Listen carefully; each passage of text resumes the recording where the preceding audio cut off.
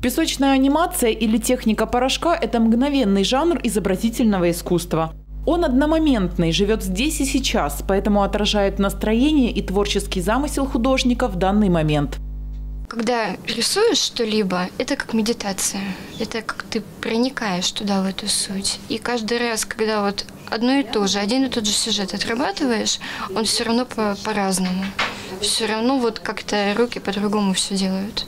То есть он не одинаковый, да, правильно, он как ветреный, вот как мгновение. На световом экране из песка создается сюжет, до боли знакомый каждому. Пара выпускников встречает рассвет, но все их надежды и мечты обрываются в один миг с нападением фашистской Германии на Советский Союз. И молодой человек уходит на фронт, погибая там.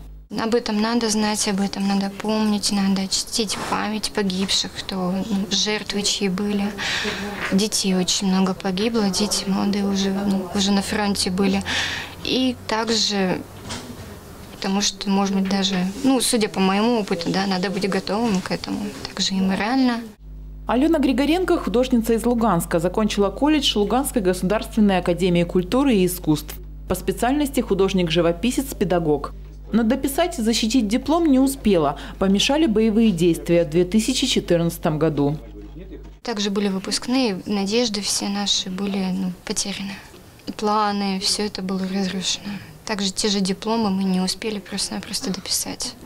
Потому что к нам пришли и сказали, что все, защита диплома из-за военных действий. Ну, и сразу как-то все это было в старом страшном спортзале. Алена вступила в ряды ополчения, но родители решили иначе. Отправили ее в Севастополь, где она осталась жить и работать. Сейчас Алена учит рисовать малышей в творческой студии.